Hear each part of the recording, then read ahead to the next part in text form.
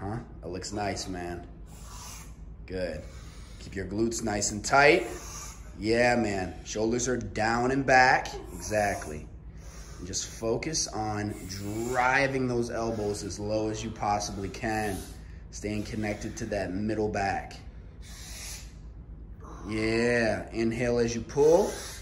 Huh? Good. Send that chest directly through those handles. Good. Just like that. That's the mindset. Good. Rest. Awesome, Doc.